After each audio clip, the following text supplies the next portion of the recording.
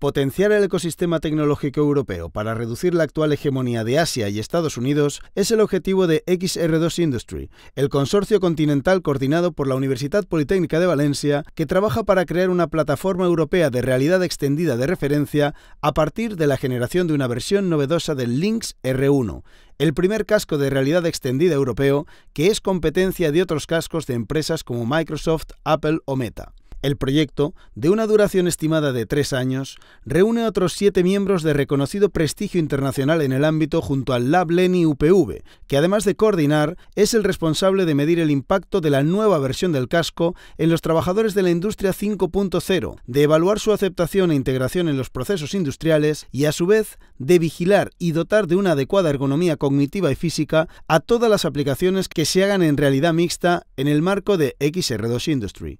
Cuando se hace una aplicación de realidad mixta, es importante desarrollarla, pero hay un aspecto que se suele, eh, digamos, minimizar o no prestarle la debida atención y es que cómo hago que una aplicación en realidad mixta realmente el usuario que vaya a utilizar em, tenga la manera natural de interaccionar, no haya interferencias a nivel de visión o de gesto, cómo puedo interaccionar de manera natural con la voz, con los gestos, con la mirada, para conseguir aplicaciones que me permitan realmente interaccionar de manera mixta con el mundo físico.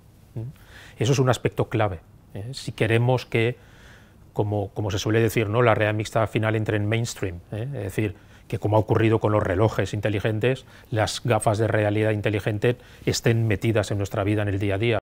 Pese a que el proyecto está directamente enfocado hacia el ámbito industrial, son numerosas y muy relevantes las aplicaciones que el mismo puede tener en múltiples áreas. Está ampliamente demostrado que, la realidad mixta sirve para formación, sirve para producción. ¿eh? Nosotros, por ejemplo, en Eni tenemos proyectos con Forbia, con Stadler, en los cuales estamos demostrando que cuando en las líneas de producción utilizas realidad mixta, consigues hacer productos ¿eh? a menor coste, con mayor calidad.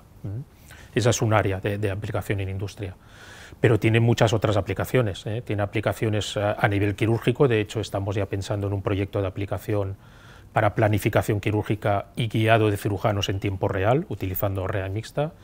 Y luego tiene aplicaciones en otros sectores importantes, retail, y uno que para España es muy importante, ¿no? que es el tema de utilizar REA mixta para turismo.